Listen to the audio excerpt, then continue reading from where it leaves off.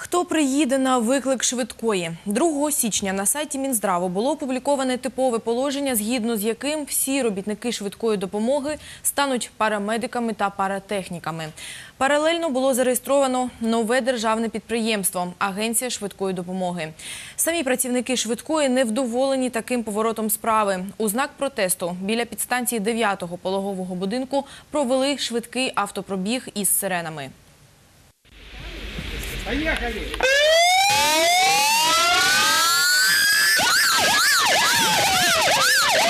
Гучний протест триває лише кілька хвилин. Щоб заощадити пальне, машини зі включеними мигалками проїжджають всього кілька кіл поблизу пологового будинку. Одна з бригад вже терміново збирається на виклик. Зараз вони змозі поставити діагноз та надати допомогу вже на госпітальному етапі. Але найближчим часом з реформою швидкої все має змінитися. Парамедики мають тільки перевести хворого до стаціонару.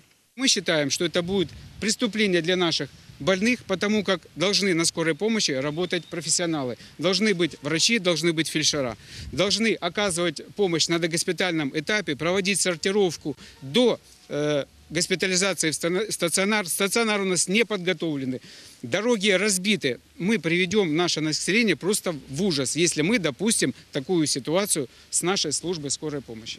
Лікар вищої категорії Лілія Стрілець працює на швидкої вже 27-й рік. Каже, тільки її підстанція за добу має близько 100 викликів. Якщо будуть парамедики, 90% тепер повинні доставити до стаціонару. Всього у Запоріжжі 8 таких підстанцій.